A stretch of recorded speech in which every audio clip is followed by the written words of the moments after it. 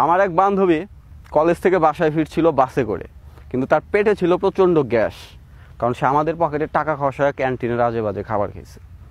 তো যাই হোক, বান্ধবী খাইছে, খিলাইছি, কিন্তু গ্যাস তোর পেটেই হয়েছে। তো এখন গ্যাস নিয়ে বাসের মধ্যে অস্বস্তিতে আছে। তো হঠাৎ করে শুনতে পেল যে গান বাজছে বাসের মধ্যে। তো ভাবলো this is the chance gas বের করার। তো যাই হোক, সে মিউজিকের তালে তালে বায়ু দূষণ করল।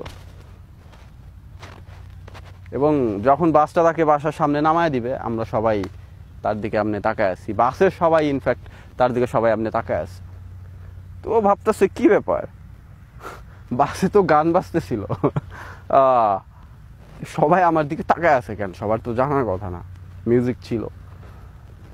তো আমি ওর কান থেকে হেডফোনটা খুলে বললাম, গানটা বাসে বাজে নাই। তোর হেডফোনে বাজছে।